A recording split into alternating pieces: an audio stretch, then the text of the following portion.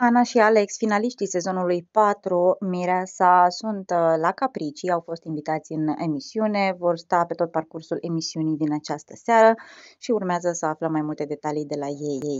Spunea Alex că pe tot parcursul sezonului lui uh, de la început și până la sfârșit a fost uh, în topul preferințelor telespectatorilor și nu a experimentat niciodată, niciodată ce înseamnă o cursă de eliminare și se bucură că nu a făcut asta.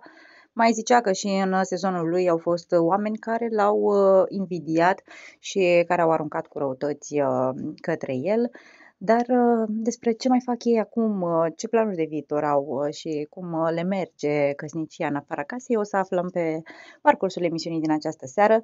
Cei doi au fost invitați pentru că duminică vom vedea un nou episod din emisiunea Familia Mireasa, povestea continuă și protagoniștii sunt ei, Alex și Ana.